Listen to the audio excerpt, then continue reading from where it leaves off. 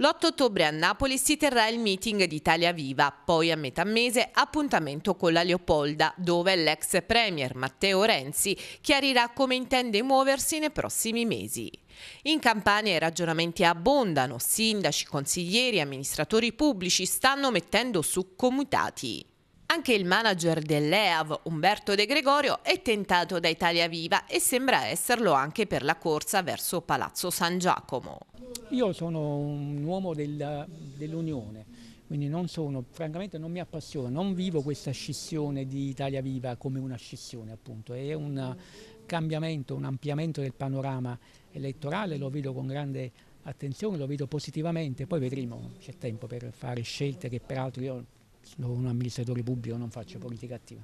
Io sono della partita di quelli che vogliono fare qualcosa. Puoi fare l'assessore, il consigliere, l'amministratore, il sindaco, il governatore, è poco importante, l'importante è fare il gioco di squadra.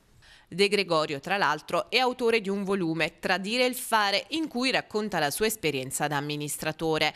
Lo stesso dal 2015 gestisce l'EAV, l'ente autonomo Volturno, che si occupa del trasporto pubblico della regione Campania. È un racconto di come sia molto facile giudicare, fare l'editorialista del giornale, il giornalista, molto più complicato poi agire e incidere in realtà complicate come sono le nostre, che sono sempre molto complicate. Quindi un racconto delle difficoltà dell'amministratore pubblico, ma anche della possibilità di fare delle cose, un invito a sporcarsi le mani e quindi a essere presenti nella gestione della cosa pubblica, allo stesso tempo un invito a essere per i magistrati e i giornalisti un po' più attenti e uh, a essere un po' più uh, dire, modesti nelle, nel giudicare addirittura lancia una provocazione, sarebbe bello se magistrati e giornalisti potessero fare un anno sabbatico a fianco di un amministratore pubblico e poi ritornare a fare i giornalisti e i magistrati, sicuramente tornerebbero un po' cambiati.